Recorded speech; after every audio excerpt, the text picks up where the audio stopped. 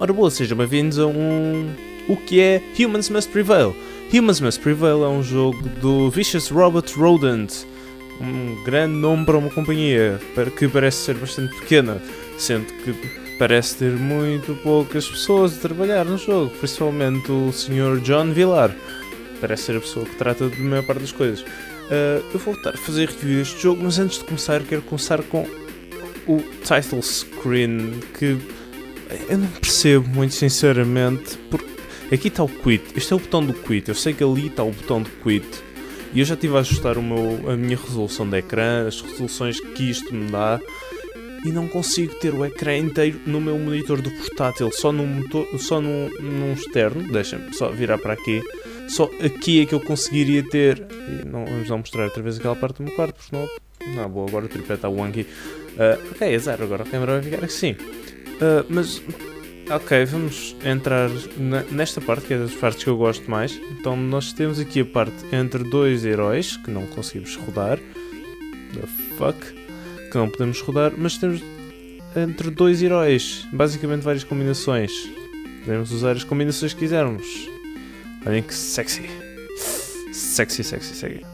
Para além disso, temos três cores que podemos utilizar, cada cor com o seu modificador e graças à resolução do ecrã e ah, eu não percebo isto, sinceramente, mas está em alpha funding, ainda não está terminado e isso há de alterar. Uh, não dá para perceber muito bem o que é que faz, mas altera porque nós podemos ver ali na, na vida, no speed modifier pelo menos, que as coisas mudam. Eu gosto de ser rápido com este jogo, por isso yeah, parece-me bem. Para além disso, temos vários skills para comprar. Os que vêm de início é Fireball e o Laser. Eu já maximizei a Fireball, por isso acho que vão ver uma versão extremamente overpowered. Para além de que podem adquirir estes com moedas in-game ou se tiverem preguiça podem comprar diretamente aqui, o que me parece ser mínimo e pronto. Mas o jogo está disponível no Desura, tá, como já disse várias vezes, está em Alpha Funding e está agora por 3,99€. Mas se vocês forem ao ints.io, eu vou pôr o link na descrição, está por 2.99 dólares. Eu não percebo muito bem qual é, a diferença, muito sinceramente. Talvez um ser no, no Desura, Desura, não sei como é que é de pronunciar aquele site, mas por estar lá deve valer mais. Eu não, não percebo muito sinceramente. Ou então o preço mínimo que eles aceitam. Mas uh, quero-vos mostrar. E yeah, vamos jogar assim porque está bem. Quero-vos mostrar como é que é o jogo em si. Uh, temos um modo de campanha, em que eu já estive a jogar, como é evidente, para poder ter uma opinião sobre isto, em que as cidades vão aumentando e nós temos cada vez mais. cada vez mais. cada vez um objetivo maior para atingir. Mas eu não falei de facto o que é este jogo. Este jogo mete-vos nos. Bem, eu acho que posso mostrar isso enquanto estou a jogar. Provavelmente no nível mais fácil. Ah, bem, vamos para aqui. Aqui eu tenho a certeza que consigo. Um, mete-vos. Este jogo mete-vos no lugar de um monstro gigante que está a atacar uma cidade, basicamente. Começamos por ser um Godzilla, depois passamos a ser um. Passamos a ser um King Kong, imagino. Se bem que não subimos a prédios, um, um, um erro bastante grande. Que, e acho engraçado porque. Isso parece. Acho engraçado porque o King Kong também manda bolas de fogo da, da boca. Algo que não me lembro de ver no, no, nos filmes em, nem em nenhum lado. Mas se bem que agora parece que está a sair do nosso rabo, mas pronto. Um, mas é engraçado ver uma perspectiva diferente, em vez de estarmos sempre a tentar salvar a cidade, tentar destruí-la. E uma coisa engraçada é que é impossível nós ganharmos, conseguimos chegar aos objetivos, como é evidente, mas nunca conseguiremos ganhar de facto o jogo, porque uma das características disto é que os humanos irão ganhar sempre. Vocês simplesmente conseguem adiar a vossa morte. O que é engraçado, porque mostra a posição que normalmente existe nos filmes. Sabemos que, vamos, que os bons vão ganhar, mas com, com quais é que são os danos que os maus vão provocar na cidade? Isso, acho que é interessante. Vamos pôr assim. O que é que eu quero dizer mais sobre este jogo? Uh, acho que os, acho que, por exemplo, uh, tenho mixed feelings quanto aos gráficos. Um, porque acho que a cidade está simples e extremamente engraçada, bem como os humanos. Mas por outro lado, os monstros irritam-me um bocado. Parece-me simplesmente mal 3D. Eu sei, eu sei que não devia estar a criticar um, algo que está tão no início da, da produção, mas vá lá. Se conseguem fazer personagens giras, metam em tudo, principalmente nos personagens principais, por favor, não. Uh, mas tirando isso, o jogo, é assim, o jogo está a funcionar, está a funcionar bastante bem. Responde a todos os meus comandos, basicamente. E é divertido. Se eu recomendo, eu diria que sim, que recomendo, mas uh, quero-vos mostrar mais um bocado. Mas, não, é, mas, o problema disto é que não há muito para mostrar, muito sinceramente. tenho mixed feelings quanto a este. quanto a este. Um, quanto a este jogo. Porque é, é giro partir edifícios e, e, destruir e ter a humanidade a tentar matar-nos. Ok, isto parece, parece que sou um serial killer, mas eu juro que não sou. Uh, mas é, é giro estar a destruir edifícios e ver pessoas a correr e nós, e nós queimarmos com um anel de fogo. Tem a sua piada, não vou dizer que não, mas farta a certo ponto, não é? Não, nós não vamos estar a querer todo o dia, não vamos querer estar todo o dia a partir, bem, pelo menos eu não vou querer estar todo o dia a partir cidades. Mas se calhar vocês têm opiniões diferentes e se tiverem, por favor, comprem este jogo, é um jogo espetacular. É, nesses termos, vamos por assim. Eh, eu digo-vos que já pus para aqui umas 3 horas neste jogo, por isso, já. Mas uh, se vou jogar muito mais, é pá, não. Mas se não tiver nada para fazer num fim de semana qualquer, ou não tem sido um fim de semana, estou de férias, não é? Uh, mas enquanto estou de férias, se não tiver nada para fazer, pá, com certeza que vou jogar este jogo. Porque distrai e é engraçado. É engraçado também ver os humanos a destruírem a cidade enquanto nós nos desviamos das bombas deles e, enquanto nós recarregamos vida e depois eles nos matam muito rapidamente porque, porque sim, aparentemente. E se ver uma cidade com 3 ou 4 estádios de futebol, vá lá. Nem Portugal, que quando construiu os estádios do Euro tinha 4. Bem, se formos ver bem, Lisboa tem bastantes estádios de futebol, por isso esqueçam o que eu estou a dizer. Uh, ok, agora as teclas não estavam a querer funcionar, mas uh, por muito que eu gostasse de continuar a falar, porque acho que uma review não dá para fazer muito bem em 7 minutos, é basicamente isto que vocês compram. E vocês compram o que vocês veem. Muito sinceramente, não há nada de mais. Posso estar a mostrar um bocado os skills, mas acho que essa é a parte mais divertida dos, do jogo já agora, vocês não começam com power-ups tão overpowered, como eu disse.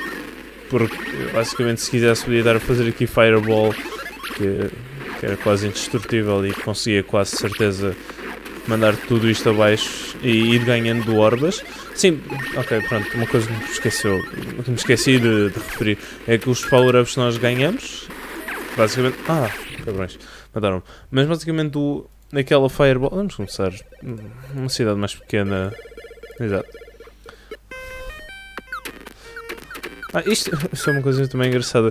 O sítio random em que, nós, em que nós começamos o jogo. Porque às vezes calhamos em cima de, de edifícios e isso é extremamente engraçado.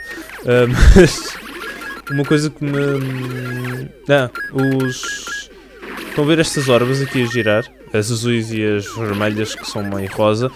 Uh, basicamente, eles, ela, apanhamos quando destruímos edifícios ou quando alguém destrói um edifício, não deve ser nós, pode ser, pode ser o exército com, os seus, com as bombas. Um, mas isso é o que alimenta o nosso. Os nossos ataques, o nosso 1 e 2, basicamente, a nossa Fireball e o nosso Ring of Fire do Johnny Cash. Uh, eu não sei se era o Johnny Cash, mas eu vou esperar que sim, porque senão a referência fica muito mal. Um, mas mas sim, é isso que vocês ganham. Mas como eu, tava, como eu ia dizer antes de começar a explicar e entrar nesta. Não é bem tangente, mas vamos dizer que sim. Neste tópico de conversa. Hum, eles não são tão overpowered e dá para fazer upgrades com o dinheiro in-game que se vai ganhando. Jesus Christ. Se bem que ainda não percebo muito bem qual é que é, quando, como é que nós ganhamos dinheiro. Ora bem, agora vou ter de começar a partir com os meus próprios braços. Caga lá nisso. Fireball. Uh, mas ainda não percebo muito bem qual é, como é que ganhamos, porque uh, depois no final, assim, quando eu morrer eu mostro-vos, porque aparece um multiplicador, e o multiplicador é pelo tempo, mas em jogo não aparece nada sobre o tempo, por isso eu, eu fico um bocado confuso. Mas se calhar sou eu, não é? E se a dificuldade do jogo aumenta exponencialmente? Mas isso é porreiro, não é? Mas se vocês gostam deste tipo de jogo, não se esqueçam que está por 4 eh, euros, basicamente, 3,99 na, na Dessura, o link, link em baixo, como é evidente, na descrição. Ou então por 2,99 eh, na itch.io, que eu não faço ideia do que é que é. Mas parece-me ser um bocado... Como é que eu ia dizer isto de forma simpática? Sketchy. É, é, parece um bocado sketchy. Mas eu não tive tempo de pesquisar mais sobre isso para fazer um vídeo. Porreiro.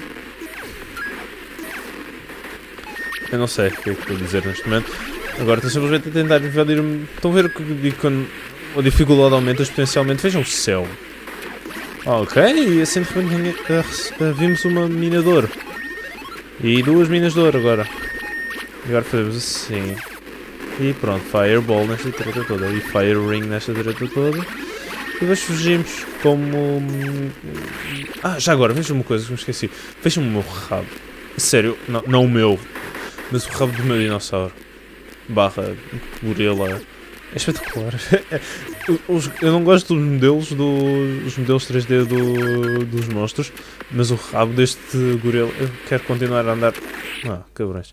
Mas pronto, já agora, está uh, aqui o bónus de moedas e está aqui um multiplicador que eu não percebo muito bem o que é que é, mas Time Multiplier, que é vezes 8, está bem. E nós o que podemos fazer com essas moedas é voltar, um, voltar para trás, fazer customize, vamos aqui aos skills e vemos que temos, ah, este por 2000, vamos comprar e Red Sacrifice, eu não sei o que é que faz, nem quero saber muito sinceramente.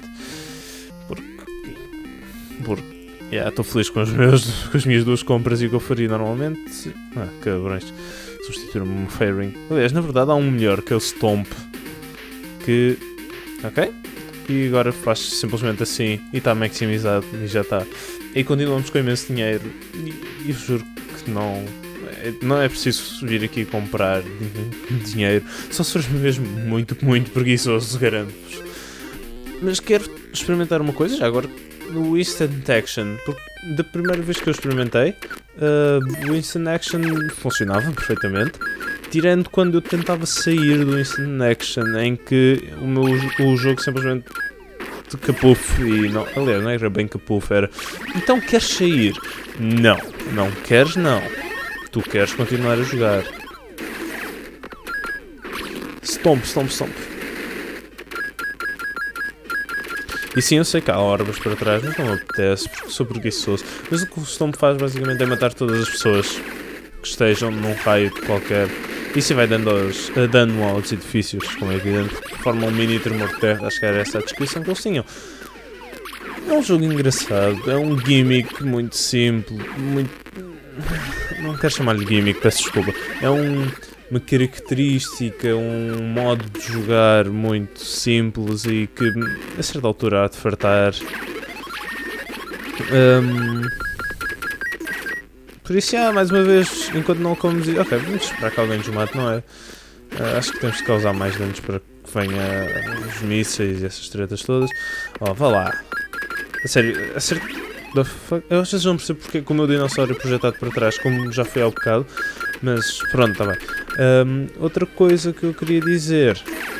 Uh, não me lembro, mas. Mas. Ok. Ah, uma coisa que eu queria dizer. Nesta parte do jogo eles estão a ser extremamente sloppy, devo dizer. Está aqui o monstro. Agora nem sequer estou a fazer nada e eles não, não fazem nada. Ah bem, agora já estou. Agora. Ok, quero ficar aqui, que é. Vá, força, acertem. Ok, eles estão-se a matar eles próprios. Ok. E. E. Ok, conseguiu. Agora, return to title. Ok, era isto. Era isto que me estava a acontecer. Ah, ok. Só queria ter a certeza que não estava. Que não estava não estava enganado. Uh, e acho que vamos chegar por aqui com um game over, com um link screen de game over. Um, eu diria para vocês esperarem um bocado antes de comprarem este jogo. Eu não, não digo comprem imediatamente, mas digo tenham atenção. Este jogo na Dessura parece é bastante promissor, pelo menos. Uh, quando quero ver como é que ele está quando estiver totalmente acabado. Quero ver se está bom e se estiver bom, faço outra review a dizer comprem este jogo imediatamente. Mas para já digo tenham calma, deixem ver como é que este jogo se vai desenvolver. Deixem ver como é que se torna um jogo completo.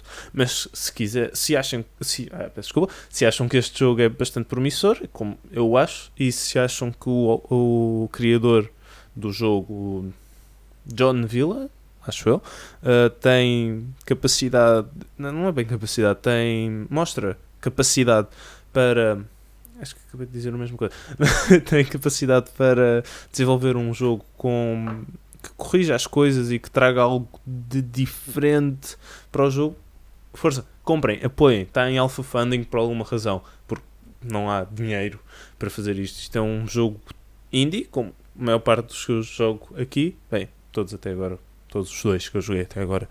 Uh, uh, por isso, apoiem. Uh, links lá em baixo para isso. Não, já que estão lá em baixo, não se esqueçam de subscrever, gostar, partilhar escrever um comentário e dizer gosto muito de ti, Ricardo Alexandre Ribeiro Santos? Não? Não? Ok, não vamos fazer isso. Ah, jovens, até à próxima.